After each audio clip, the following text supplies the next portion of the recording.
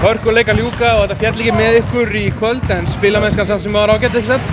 Jú, jú, þetta er bara hörku leikur. Þetta er hérna bara eins og ég bjóst við. Ég meina, það er hérna, ég bjóst ekkert við að þeir myndu bara leikast á baki og lega okkur að hérna rúlla yfir sig. En það er hérna, þetta fór svona.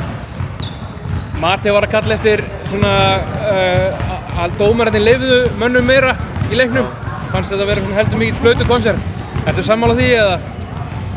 Hvað, ég ætla ekki að, hef ekkert komment um það, en mér fannst hérna, mér fannst villurnar sem, sem að við fengum á okkur, þess- sérstaklega, sérstaklega erlendi leikmaðurinn, það er, þetta er enga villur, þetta er hérna, þú veist, ok, jú, ein, tvær að þeim, en ég hérna, mér fannst hérna, þeir geta sleppt ansi mörgur. Er, skiptir þetta ekki miklu máli að missa hann út á þarna þegar það slatti eftir að fjóra leikvölda, Markus Oliver? Hvað heldur þú? Ég hef mig grunað það. Já, Já. það skiptir öllu máli. Já. Það skiptir náttúrulega, ég meina það eru þrjár mínútur, það er rúmlega þrjár mínútur held ég.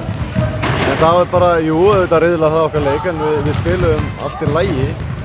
En það er bara, það tekur svolítið mikið frá okkur. Bæði lið myndu spila mjög harða vörn og svo sem ekkert mikið skorað í þessum leik. Uh, þið heldur það að því leitinu til ykkar striki bara frá því fyrsta leik. Já. Þetta er væntalega bara það sem þið ætla að halda áfram með. Já, já, klárlega. Ég meina við, við erum hérna, auðvitað, auðvitað þarf maður að pæla svona eitthvað í, auðvitað ekki að vera eitthvað smá breytingar á milli leikja. En það er hérna, við þurfum bara núna að fara aftur í, veist, skoða þennan leik, aðtöga hvað við þurfum að laga. Komum tilbúinir á fyrstæðin.